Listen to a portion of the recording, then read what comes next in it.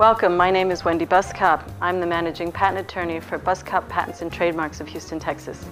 One of the questions I'm often asked is, what is a patent?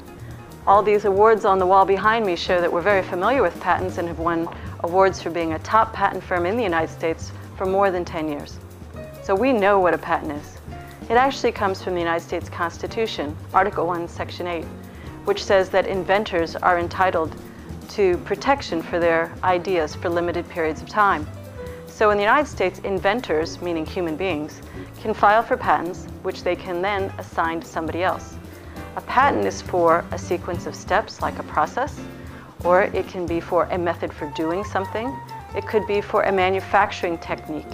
It could be for a gadget. It can be for a sequence of computer steps that produces a certain kind of report or monitors or provides an alarm. It can be for a new type of doing business over the internet, which didn't exist before.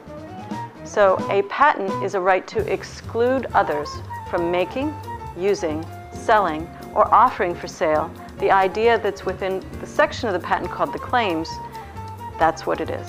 So it's an asset, it's a marketing tool, it's something you can license, it's a tool you can protect your market share with, it's something you can use to help get an R&D tax credit.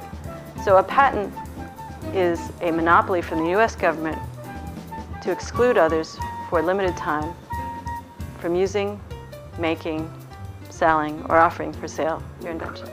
And the time is 20 years from filing. Thanks for tuning in. If you have any more questions, please go to the website below and feel free to click on one of the videos which answers another question. Thanks for tuning in.